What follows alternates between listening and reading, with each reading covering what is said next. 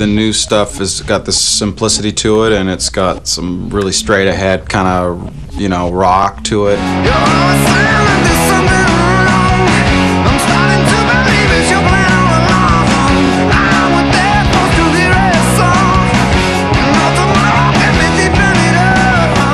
The success of Worldwide Suicide, when people start to throw like numbers and charts and all that stuff at, at, at us, I think initially I, I have a little bit of trepidation towards, you know, hearing that stuff, especially if it's like, you know, industry people and whatever. I think it's a good song and I think it's a timely I think your song. initial reaction when they said it was kind of number one or something, you said, well, I don't give a Is that what I said? yeah,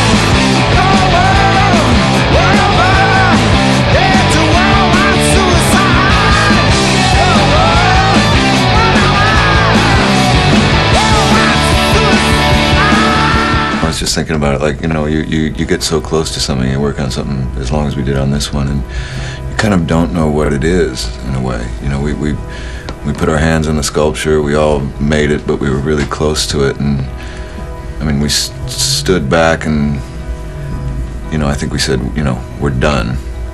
It's done. We don't know what it is, but it's done. And, it, and it's kind of, it's interesting now because I think we're going to find out what it is.